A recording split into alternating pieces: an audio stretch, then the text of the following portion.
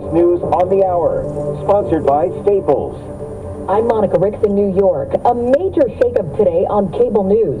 CBS's Robert Costa has more on Tucker Carlson leaving Fox News. He has been a highly rated figure for many years.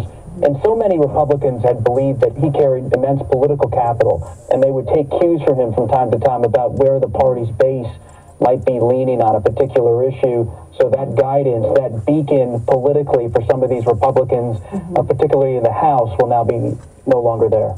CNN also fired Don Lemon today after 17 years. He was accused of creating a hostile work environment.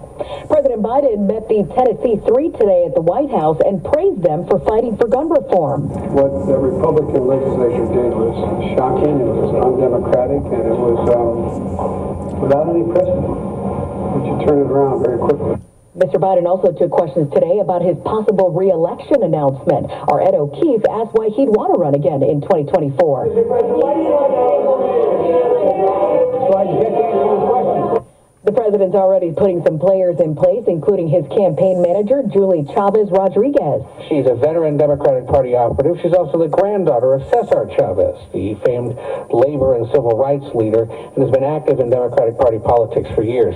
Most critically for her, compared to others that might have been considered for this role, she's at least been working down the hall from the president for more than a year now in a senior West Wing position.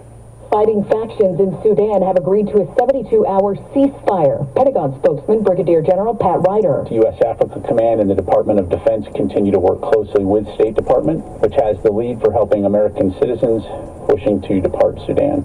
The U.S. Embassy has already been evacuated. Aaron Rodgers is ending his 18-year run with the Green Bay Packers. He is considered one of the all-time great quarterbacks. But now Aaron Rodgers is on his way to the New York Jets. Final details are expected to be worked out in the next few days. The Jets are giving Green Bay a series of draft picks, including a second rounder this year and a first or second round pick next year. Steve Futterman, CBS News.